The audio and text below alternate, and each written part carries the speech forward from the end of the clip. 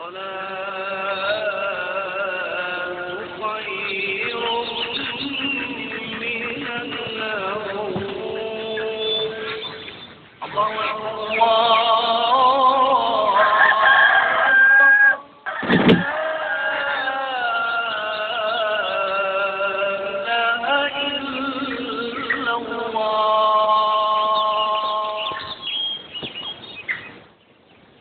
اللهم رب هذه الدعوة التامة والصلاة القائمة. آت محمدا الوسيلة والفضيلة وابعثه اللهم مقاما محمودا الذي وعدته.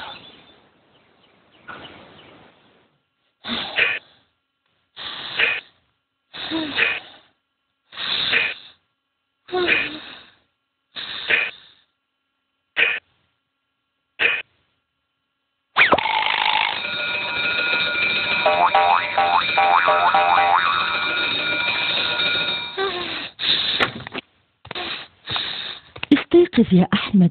حان وقت صلاة الفجر. يا أمه لا أستطيع الصلاة. لماذا يا بني؟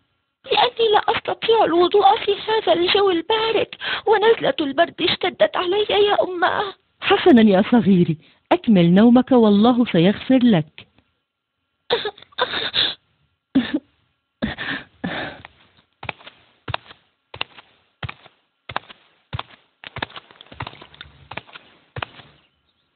ألم يستيقظ أحمد بعد؟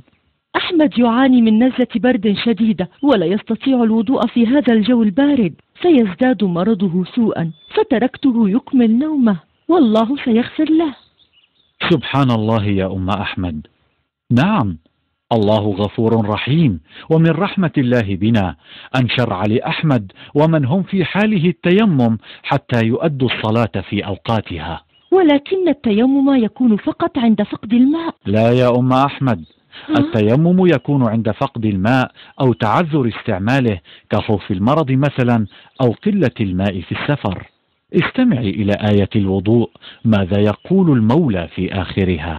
وإن كنتم مرضى أو على سفر أو جاء أحد منكم من الغائط أو لامستم أو لامستم النساء فلم تجدوا ماء فتيمموا صعيدا طيبا فامسحوا بوجوهكم وأيديكم منه فمن كان مريضا يخشى زيادة مرضه أو هلاك نفسه فإنه يتيمم ولو كان جنبا.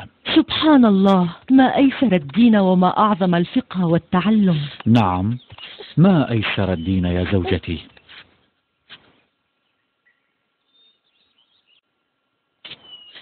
جزاك الله خيرا يا أبي. ولكن كيف أتيمم؟ وأين لي بالتراب؟ يا بني يقول النبي صلى الله عليه وسلم جعلت لي. الأرض مسجدا وطهورا. فتعال معي يا بني إلى هذا الصعيد الطيب.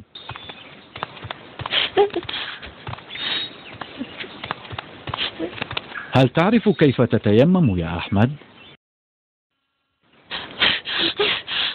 في الحقيقة لا لا أعرف يا والدي كيف يكون التيمم.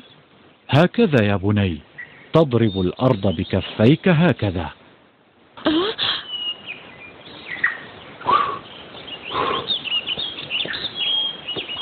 ثم تنفضهما ثم تمسح كفيك ثم وجهك. فقط هكذا؟ ما أيسر ذلك؟ نعم ما أيسر ذلك. وما أيسر ديننا يا بني.